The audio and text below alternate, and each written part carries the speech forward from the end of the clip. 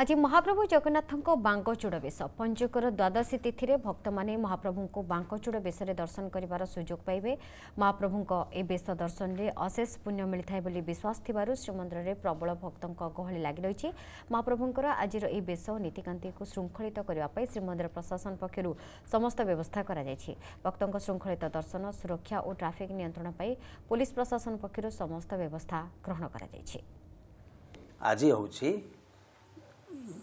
କାର୍ତ୍ତିକ ମାସ ଶୁକ୍ଳପକ୍ଷ ଦ୍ୱାଦଶୀ ତିଥି ଆଜି ପଞ୍ଚକର ଦ୍ୱିତୀୟ ଦିବସ।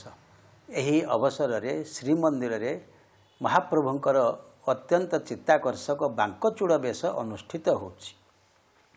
ଏହି ବାଙ୍କଚୂଡ଼ ବେଶର ପଶ୍ଚାତ ଭାଗରେ ଗୋଟିଏ କିମ୍ବଦନ୍ତୀ ରହିଛି। ଯେତେବେଳେ ଅକ୍ରୁର ଯାଇଥିଲେ ବୃନ୍ଦାବନକୁ ରାମ ଏବଂ କୃଷ୍ଣଙ୍କୁ ଆଣିବା ପାଇଁ ମଥୁରାକୁ ସେତିକିବେଳେ ଯେତେବେଳେ ଭକ୍ତପ୍ରବର ଅକ୍ରୁର ପହଞ୍ଚିଗଲେ ବୃନ୍ଦାବନ କ୍ଷେତ୍ରରେ ସେତେବେଳେ ସେ ମହାପ୍ରଭୁଙ୍କୁ ଏହି ବେଶରେ ଦର୍ଶନ କରିଥିଲେ।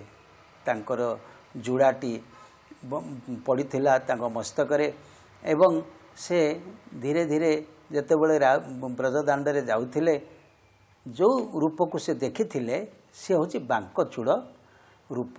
ତେଣୁ ଏହି ବାଙ୍କଚୂଡ଼ ବେଶରେ ଅକ୍ରୁର ଯାହାକୁ ଦର୍ଶନ କରିଥିଲେ ଏବଂ ମଧ୍ୟ ଶ୍ରୀମନ୍ଦିରରେ ଯେହେତୁ ଦ୍ୱାପର ଯୁଗୀୟ ଲୀଳା ମହାପ୍ରଭୁଙ୍କର ଏଠାରେ ଅନୁଷ୍ଠିତ ହେଉଛି ତେଣୁ ଠାକୁରଙ୍କର ସେହି ସ୍ମୃତିରେ ଏହି ବାଙ୍କଚୂଡ଼ ବେଶଟି ଅନୁଷ୍ଠିତ ହେଉଛି। ଯଦି ଆପଣଙ୍କୁ ଆମ ଭିଡ଼ିଓଟି ଭଲ ଲାଗିଲା ତେବେ ଆମ ଚ୍ୟାନେଲକୁ ଲାଇକ୍ ସେୟାର ଓ ସବସ୍କ୍ରାଇବ୍ କରିବାକୁ ଜମା ବି ଭୁଲନ୍ତୁ ନାହିଁ।